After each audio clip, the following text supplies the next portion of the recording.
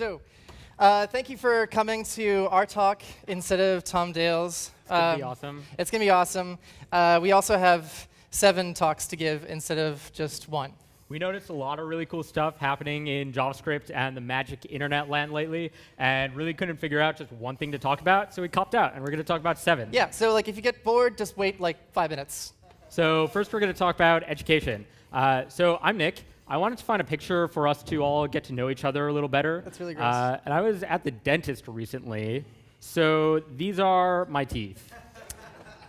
Um, my, my name is Edward. Uh, apparently, this is me. I swear this is not photoshopped. The other guy is another guy I teach with. Uh, so we both work at Shopify, which is a really cool e-commerce and JS and Rails company.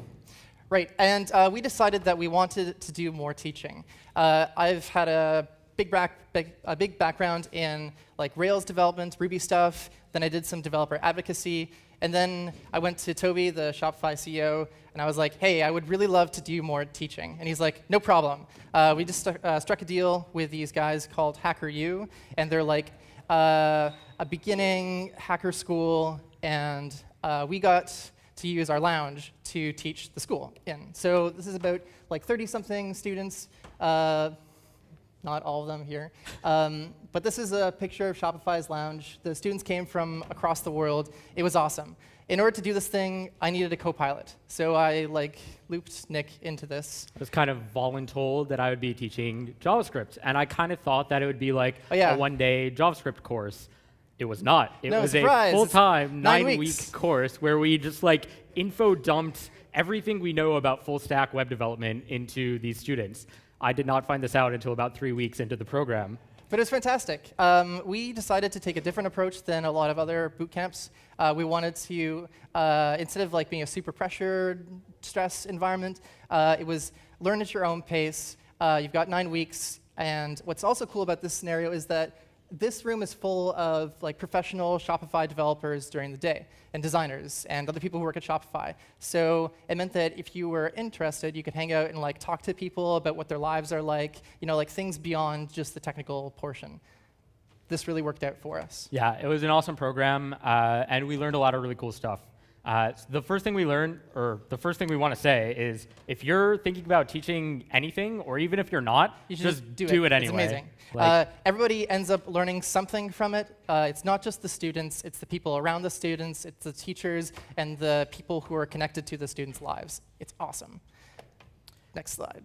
Um, right. We also discovered that the teachable moments happen in those environments where you let them happen. Just like talking to somebody about how to do something is not such a great way to teach.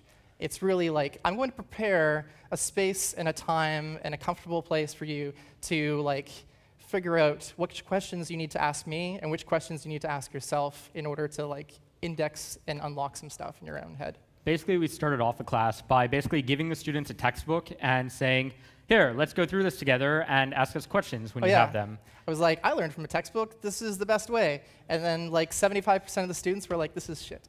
It did work for 25% of the students, though. Yeah. But that's like the important lesson, is that everybody learns differently. And what works for one student won't work for four other students. Right. And like the whole like some people learn visually, some people learn orally, whatever. Uh, also, not really the case. People switch m- modes like Every throughout the same day. Yeah. So we had some students who were like, I don't understand anything. But the moment you sit down with them and you like draw a picture for them about like this is what happens when a request comes in and it goes through the stack, you like see lights turning on, and it's the best possible feeling you can have. So whatever interaction may be, whether it's sitting down with them, answering questions, drawing pictures, uh, or building apps together, like that's when students are going to learn the best. Right. So we decided to like not just do full lectures. This was something that we figured out later on. We lectured for like five, ten minutes. Then we stopped class, and then we held little workshops for like 15 minutes. So uh, again, like if you were bored, you just had to wait 10 minutes, and then you'd get something totally different. And during these workshops, it's not just like one person working by themselves. We really encourage them to pair program and talk to each other and get better at like the non-technical stuff, like how do you give feedback, how do you take feedback, how do you work together on a team, Exactly. That kind of stuff. So while awesome. they were working on their own, uh, basically that gave that freed us up to be able to walk around, answer questions, help students out with whatever they needed. But the problem that we ended up having was uh, our time was being too uh, monopolized by single questions. Uh, yeah, there's only two of us asking and answering questions from like 30 people.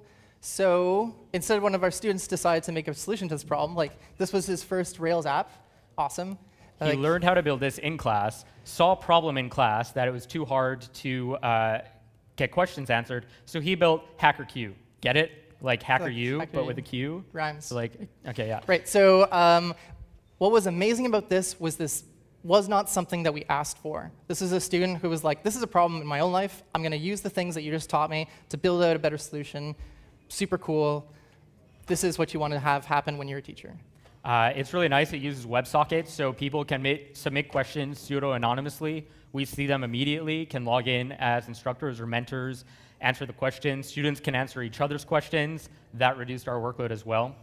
Um, but like, have, have any of you ever taught and done something like this? Like, who here uh, has a problem with what we're doing right now? Is everybody comfortable? Is this okay? Everyone understands? It's the worst. It is so crappy. Like basically, you ask that question. Do you guys understand? Is, are we good? Can we keep going? And all you see is. Yeah, yeah. Like how many times have you ever seen someone go like, "Yes, I do actually have a problem. Uh, could you stop the class for a moment and like tell me more?" Never, Never happens. Happened. Everyone is like either uncomfortable, they just say nothing, or they nod their head because they're like, "I don't want to be that person that holds up the class." So um, I may um, have flipped out in one class and maybe called people some terrible liars. Uh, I don't feel good about it. But while I was apologizing to a large group of people, um, some of them took it to heart and decided to fix that problem with the stuff that we were teaching them. So they built this thing called curry. It has nothing to do with the fact that one of the team members is Indian. That stuff is delicious. So Curry is short for curriculum, and basically what it allows uh, us as teachers to do is go through our curriculum and our topics for the day, put in different learning objectives and the different topics. And first of all, this really helps the students visualize and like get a mental yeah. model of everything that they're going to be learning. So we type this in, they can see it during the class, they've got an idea of where they are, and then whenever we're like, hey, uh, does anyone feel uncomfortable? Like, can we continue? Do you understand? Instead, we just ask them to go to this URL, and then they anonymously hit one of these things for where they are in the curriculum, and then we instantly get uh, feedback that looks like this. So, so, this is another WebSockets app. Uh, it's a node server and a Rails backend. And basically, as a teacher, we can see this analytics view and every time a student submits feedback, we immediately get this bar, and we can gauge how well the students are doing. Do we need to slow down, speed up? Where do we need to spend more time reviewing? So this was super, super helpful yeah, for us. we did not ask for this. Um, super cool. The students are actually taking this and turning it into a startup, like tears falling, magic dreams. So this is exactly what you want to happen. Yeah. Props uh, to our students. Props to Shopify for letting us teach the love of the web. All That's right. very sweet. OK, next talk. Thanks.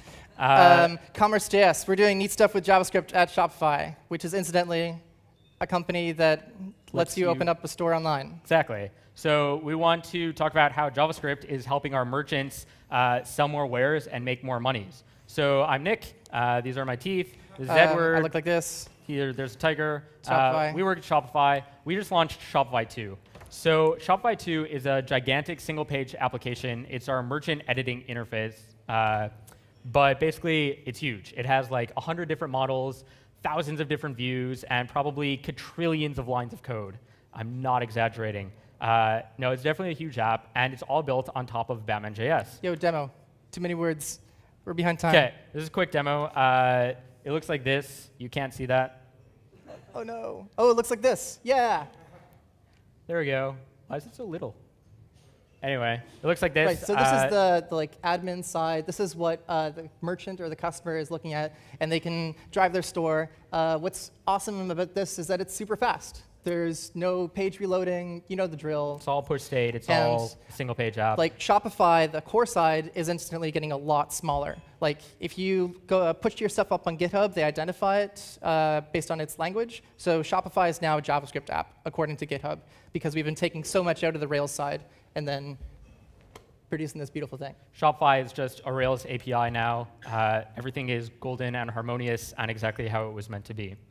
So that is Shopify 2. Oh my God. All right. Uh, All right, we made an embedded app SDK.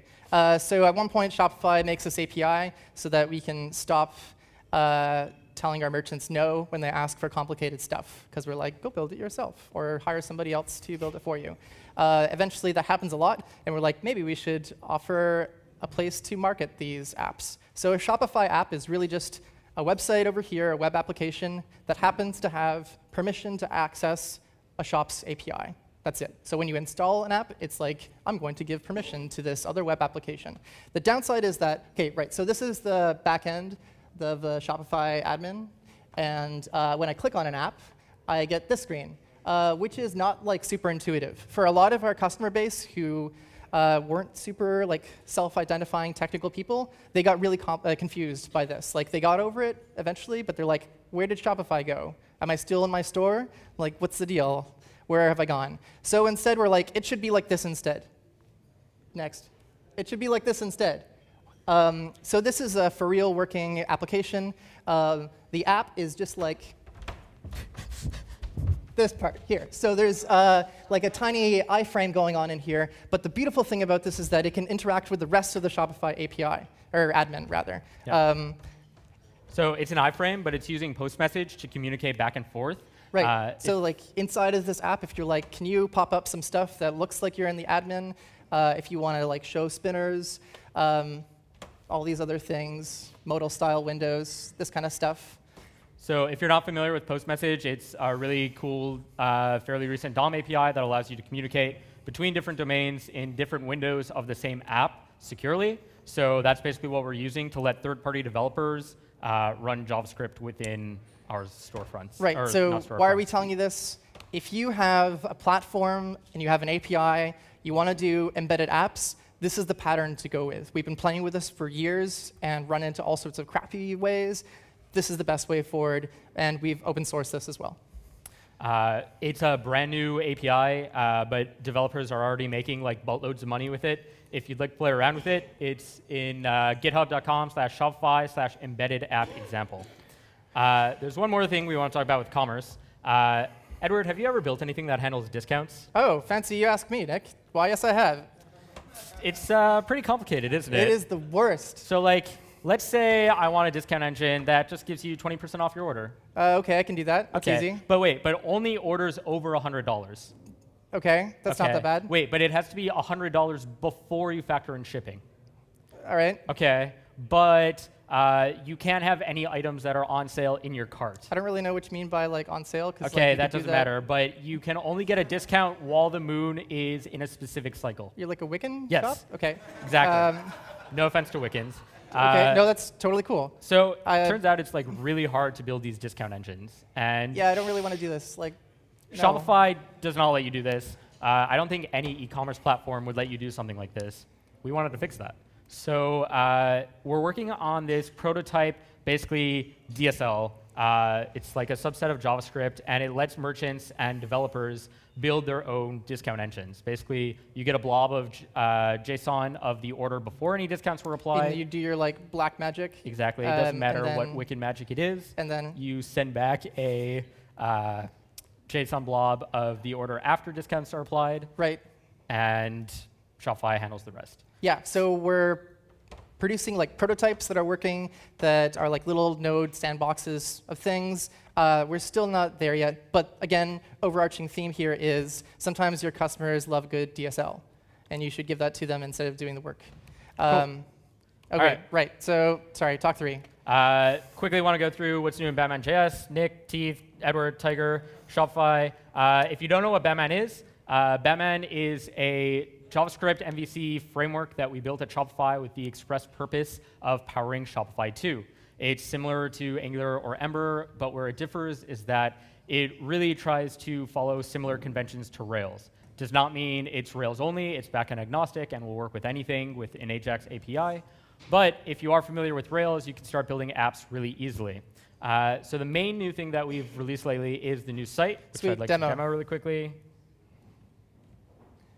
Uh, right, this was one of the major complaints about Batman when we first released it, was there are no docs. Please make it easier for me to get started using Batman. So we built this. When you go to batmanjs.org now, there's a live tutorial right in the site. Ooh, ah. And it's a live code editor with all of the files that you need. It walks you through getting started building a Batman app. So if I add the Batman Rails gem, hit save, uh, now I have some generators. I can build a new Batman app right in my web browser. Yeah, launch that app. Launch app. Uh, so this is actually a running Batman application, and It's it's, supposed to be based like on a little all the the code. side. It's because I went to full screen mode. oh, it's because you're in full screen. Yeah. There we go.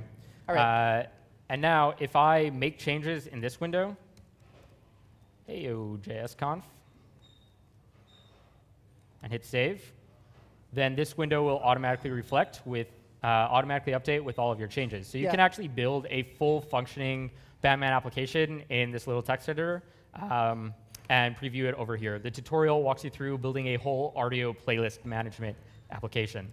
Uh, the other big thing that we've been working on is docs. So one of the big complaints was that our docs were insufficient or out of date. So we spent a lot of time uh, investing in better documentation and Rails-style guides, and uh, a lot more of the framework is documented. It's still a work in progress, but we're Like, you can to use this now. Yeah, it's usable now. So hooray! Yay, docs. Okay. Uh, just released a new version. It's got lots of cool stuff. New test suite coverage. Batman Rails is a Ruby gem, which is less applicable here at JSConf. But if you have a Rails application, lets you immediately get started using Batman with your Rails API. Uh, and we're going to start pushing this as the best JavaScript framework for Rails developers. It was built for us at Shopify, which is a Rails application. And uh, if you are familiar with Rails, you're going to feel right at home, but you don't have to use it. It doesn't Rails. necessarily mean that you have to use Rails. Like, it's supported on Node. Like, you can really have any backend. Exactly. All right, so coming up, uh, more docs, clean up some more APIs, better performance. Shopify is already really fast, but we want to make it even faster. Nick, when's the 1.0 coming? All this is going to lead to the 1.0 soon. Real soon now. All right, Danke. All right, next talk. Uh, four? Yeah, four. Four. Yeah. Okay, Teeth. so yeah, here's some teeth. I'm Nick. This is Edward. Hi. Uh, we work at Shopify. So something I didn't realize uh, until a talk at JSConf US last this past JSConf uh, by Ray Daly was JavaScript is becoming a tool used for storytelling and reporting. It's being used in the media. Uh, Yeah, just today, uh, Astrid gave a great talk highlighting how JavaScript lets her tell more interactive stories. It does a better job of eliciting emotional responses because through interaction, the readers and like the people who are getting into this story can actually reach out and touch things. They can get into it. So here's an example of uh, the New York Times' snowfall article or story. I don't know what it's called now. so if But you haven't beautiful. seen this, it's a gorgeous article about uh, the avalanches Yeah, in the it's like Washington Cascades. Videos and all sorts of interactive stuff. pictures, infographics, like it's really amazing. It gives you a lot more data and a lot more background about the story and what the reporter is trying to tell you. Uh, another example is Oh, snap. Arcade Fire just released this new music video. Uh, yeah, if you haven't played with this yet, do it. It's amazing. I'm not going to do it on conference Wi-Fi, but basically it uses WebGL and your camera, and yeah, you hold and your, your phone, up phone to your and camera. you're like are like shining light into parts of the screen. It's really cool. So it tells you a story. It's a music video. It's amazing. Try it out. It's really cool. Play. Oh god. Play. Oh, we're gonna die. Nope. Come back. Okay, there we go. So Snowfall, uh, Arcade Fire. Um, This is really cool Right. for a few reasons. um, first, uh, that journalism has attained a new level of depth and a new method of delivery that wasn't possible before. But also, uh, it's an indication that JavaScript has become approachable enough that it's now being used by people who, again, like wouldn't self-identify as like a technological person. So a really smart JavaScript programmer once told me um, that they don't actually like JavaScript or all of the compiled to JavaScript languages. Not saying I agree with this, but the reason why is because it's become too easy and it's lowered the barrier to entry too much uh, that it's really easy to make really dumb mistakes or to spend too much of your time thinking about other stuff. Uh, but a takeaway that I got from that was it actually lowers the barrier to entry. Uh, it lets, lets us push JavaScript and technology into places like journalism and commerce where technology would not normally be used. All right, thanks, Uh, Sean. Next, uh, talk quickly about some DSLs and APIs and why you should build them in JavaScript. So I'm Nick, Teeth, Edward, Tiger, Shopify. Uh, DSLs make a lot of things more approachable Right. and Again, targeted. a DSL is a domain-specific language. Uh, it takes into account what kinds of words and meanings and subject matter uh, someone would use in their own domain. Like, let's say that I'm a journalist or I'm a storyteller. I'm going to use uh, something that kind of looks like a programming language, but it doesn't immediately make me think like, oh, I'm playing with JavaScript or whatever.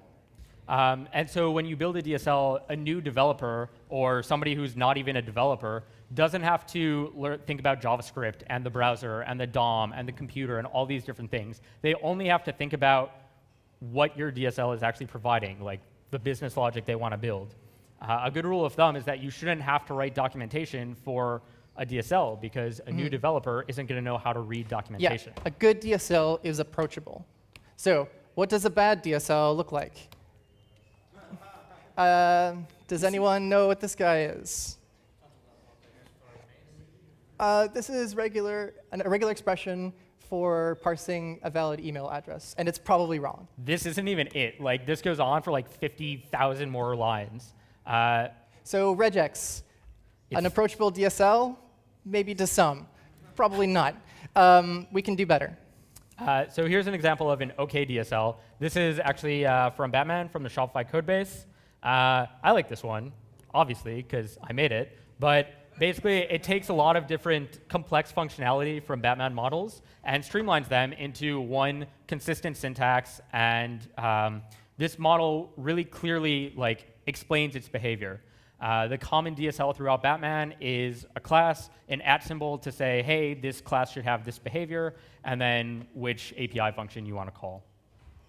Okay, here is a good DSL. Uh, so our friend Daniel, the other guy in the Tiger tiger, picture. picture, um, he's been playing around with educational tools and products, and he made this DSL for uh, learning how to program. Where's my Chrome? Uh, take us there. There we go.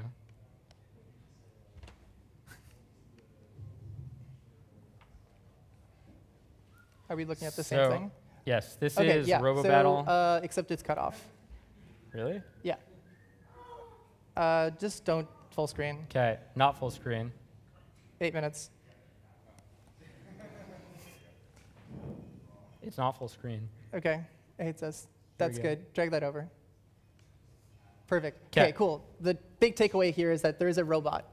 There are four functions in this DSL. Move down, move right, move left, uh, whatever. You hit run, and the robot does it. It's stupid simple. It's designed to like get kids uh, calling functions and getting used to this idea. Um, it changes as you type it. So if you do this, you'll start Right. moving up. There's no like compile or anything. You just like use this little baby DSL. It's not even really a DSL. Like it's just four functions. But Yeah. by streamlining all of it into these four functions, it's a lot easier for kids to actually see what's happening. Cool. DSLs. Uh, they expose. Oh God. Basically, they don't have to be just for apps uh, or robots or discounts or Batman models. You can add a DSL to just about anything, right? Yeah. And suddenly you expose another level of functionality to people who might not normally be able to add functionality to your product. And you don't have to do anything. You get this all for free. Uh, I implore you to think about adding some APIs or DSLs to your product, uh, just like we do with the Shopify API. All right, Donkey Shoes. Next, Politics Politics.js. Okay. So we work at Shopify. Edward does not have a tiger. Uh, I'm Nick. These are my teeth. And my teeth and I would one day like to run for public office. So let me tell you a quick story. My family got uh, our first computer when I was like six or seven years old. And I started uh, programming because I wanted to figure out how to hack these awesome DOS games. So I got some Visual Basic skills Yeah. What? Dim everything. dim everything. Uh, I kept pushing and learning with this magical thing called the internet. Eventually started doing some freelance. Uh, I got pretty into Cocoa and JavaScript, and eventually this framework called Cappuccino. Uh, I then started university, pretty quickly figured out it was not for me, So I left, went back to web development, and got some pretty sweet jobs, get to go to some awesome conferences like this one, and hang out with all you wonderful, smart people. My story is not that special. It probably sounds familiar to a lot of you. Uh, as far as that story goes and programming goes, I'm not the, the best, I'm not the worst. So isn't that a perfect qualification for running for public office? Uh, it's something I'd like to do at some point. We could talk about reasons why later or offline. Uh, but what it means is that I spend a lot of time thinking about politics and technology and how they can work together. Normally, that evokes images of like bullshit e-government and stuff like that, but it doesn't have to. Thinking back to the earlier thing about how JavaScript lowers the barrier to entry, we can apply it not just to storytelling and e-commerce, but to politics as well. So one thing we could do is, for example, uh, start hosting our legal code on GitHub or some GitHub-like service. Imagine being able to access uh, all of your laws in a format, uh, in all of the formats that GitHub provides, being able to go back through the commit history, mm -hmm. see who changed what and when. Actually, right now, like today, there's a legal hackfest uh, showing off this new API that the Canadian Association of Lawyers have put together. So we're like, hey, we need to catch up and offer APIs and DSLs to our own legal code. So like that's being hacked on today. These are not just like pie in the sky ideas. This stuff is coming. So this has actually kind of already been done. Uh, United States is a, I think, somewhat parody GitHub account. Uh, but one of the things he did is wrote a scraper uh, that scrapes the US legal code and periodically updates changes to GitHub. So you can kind of go get the US code from GitHub. It's just not official. Uh, another one, uh, I recently had to go renew my health card for Ontario. And it took no less than three different trips to City Hall to actually get the card. Uh, this guy named Dominic Hamann uh, had a really similar experience with Germany's so-called e-government. You can read this article. It's pretty interesting. Basically, he got access but couldn't do anything with it. Right. The kicker is like none of these things, none of these forms are so complex or so private that uh, you have to go through 20 different people or 20 different uh, provincial employees. So if we just had a simple system of online identity, which we don't yet, but cool people are working on it. Hey, Persona. Yeah. Uh, there's no reason that like at least half of all the bureaucracy we, we as citizens deal with all the time couldn't be moved online. All right. Uh, basically, just keep pushing. Like, keep building cool stuff and uh, like build DSLs. Uh, like Chrissy was talking about yesterday with persona UX testing, maybe name one of your personas after a politician and think, hey, could this politician use this application? Uh, and if we keep pushing and we all keep doing this, then we can eventually get to like a better, more better place government technology harmony. And that's something yeah, that I'm interested like, in. That'd be pretty rad. All right, last talk. Uh, oh, shit, OK. The sun never sets on the JavaScript empire. The JavaScript empire is growing. Yes, it's now available in like hardware forms. We're seeing it in flying robots. Hey. um, it's like, I don't know if you know this, but like you can embed JavaScript inside a, a PDF and it will render properly. You can also use JavaScript to make a PDF. Uh, it's being used in operating systems. It's being used in to phones. create operating systems? Yeah, there's another operating system called JSOS, where it's just a whole OS written in JavaScript. Uh, but it's also being sneaky and not just being used in different technologies, but different uh, areas where technology would not normally be used or where JavaScript would not normally be used. So I don't know if you saw this, but the new SimCity, disastrous launch, launch terrible, uh, fraught with DRM issues, but whatever. Uses JavaScript to do a lot of its own like internal UI yeah. and a lot of the rules engines and this all other stuff. We used it uh, to help educate our students more better. Uh, different newspapers are using JavaScript to make their articles more interactive and add more depth. Yeah, uh, we're letting API developers do a better job and let customers do our work for us. And like more and more politics and government and technology is being merged together and moving online. Uh, it's JavaScript and technology are being used in hospitals, in iPads, in medicine, in university admission processes. Basically, JavaScript is growing. We've become a massive empire, and we can say that the sun will never set on the JavaScript empire. We agree with what Brendan said last night, that it's going to keep growing and be the language that you write yourself and going to keep growing and be a low-level language. And it very well might end up being a foundation for a lot of modern civilization. Uh, we're, we're all citizens of the JavaScript empire, and we implore you to help it grow as well. I'm going to keep pushing it in technology or in politics and government. Yep, I'm going to keep pushing for JavaScript to go into education and open data. So maybe instead of building that to-do app, uh, build something that lets somebody else solve their own problem. Build apps that solve problems outside of our industry. Get Uh, outside the bubble. Glory to the JavaScript empire, and Glory to the uh, apps it begets. Glory to the JavaScript empire. glory to us all. Huzzah. Hey, we're done!